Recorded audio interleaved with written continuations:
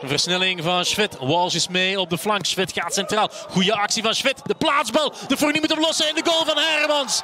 En zo 1-0 voor KV Mechelen. En meteen naar Schwed. Die heeft de steun van Walsh. Maar die laat hem deze keer rechts liggen. En dan vlotte beweging. De Fournier duwt hem. Het levert voorlopig geen kans op. Het kan alleen maar dreigen met een hoekschop. Peters indraaiende bal. Daar is Babi. En dan op de achterlijn Hermans. Die daar wel positie was gaan nemen. Hier nog eens kijken naar die vorige hoekschop. Prima aangesneden. En dan Babi boven Van Lerberg uit. Maar Hermans op de goede plek. Kijk hier. Even positie nemen. Een van de redenen waarom hij ook wat beter in de groep ligt de laatste weken is omdat zijn Engels ook beter is. Dat helpt uiteraard. Verlengd door Hermans. Bal tot bij uh, Schwed. Nou, voorzet wordt nog verlengd door uh, Wals. En dan is daar de goal van uh, Kerim Rapti. Anderhalve minuut ver in de tweede helft. 2-0 KV Mechelen.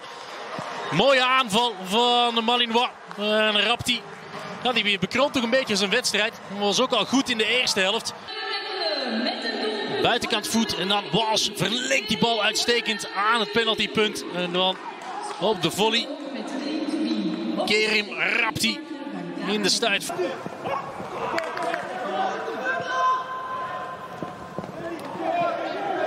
Peters. Terwijl Schwet erbij gaat liggen. Goede bal van Peters richting Preveljak. Preveljak maakt ruimte voor zichzelf en scoort niet. Uiteraard de hoekschop nog voor Eupen. Peters met de indraaiende bal. En daar is de redding van Toelen op de lijn. De poging van Koch. Er is in de hoek. Even kappen. Heeft hij ook een uh, linker. Voorlopig alles met rechts. En dan met zijn linker tussen de benen van Bijker. Een drie gaat proberen de redding van Toelen. Svet.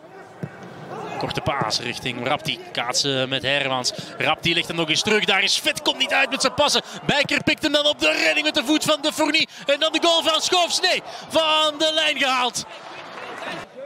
Maar kansen genoeg in de tweede helft. Het is genieten. En dan Rob Schoofs met ruimte. Even vaart maken. De Camargo loert op de buitenspel. Schwed weer naar Schoofs. Mooie paas. Schoofs niet voorbij. De Fournie. En KV Mechelen maakt het nog steeds niet af. Nou, Kaya. Zit er weer goed tussen. Schoofs. Kaya Willem. Kaya met de voorzet. Daar is de Camargo. En hij gaat erin. Kaya onderschept die bal daar goed.